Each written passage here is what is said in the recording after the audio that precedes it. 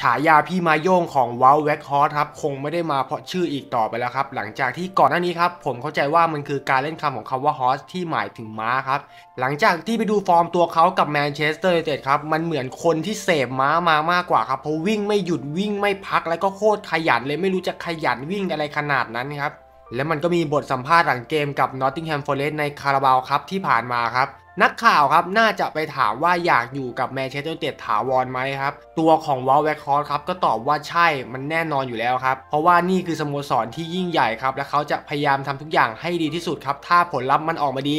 ก็ไม่แน่ครับที่จะอยู่ที่นี่ต่อครับ แม้ว่ามันจะเป็นแค่การยืมตัวครับ และก็วอลเวคคอร์ก็ไม่ใช่นักเตะเกรด A อะไรขนาดนั้นครับ แต่สำหรับผมมองว่าตัวเขามีประโยชน์ต่อทีมอย่างมากครับ และมันก็คงจะดีครับ ถ้าเขาอยู่เป็นตัวสำรองหรือเป็นอะไหล่ให้กับกองหน้าระดับ World Class ของแมนเชสเตอร์ยูไนเต็ดในอนาคตครับและยอมรับตามตรงเลยครับว่าตอนนี้ผมหลงรักชายคนนี้ไปแล้วครับ ในเรื่องของความขยันความทุ่มเทการเล่นเพื่อทีม นี่แหละครับ สิ่งเหล่านี้คือยิ่งทำให้ผมหลงรักมากขึ้นไปอีกครับ และผมขอประกาศไว้ตรงนี้เลยครับว่าผมจะติดตามผลงาน และผมจะพูดถึงเขาในทุกเกมการแข่งขันที่เขาได้ลงเล่นครับ และผมจะมาอวยเวาต์ เวกฮอร์สต์ใหม่ใน EP หน้าครับ รบกวนกดติดตามกด repost กดรายการโปรด เพื่อเป็นกำลังใจให้ผมหน่อยนะครับ และเพื่อที่ฟุตบอลจะได้เป็นส่วนหนึ่งในชีวิตของคุณกับดอฟฟุตบอลครับ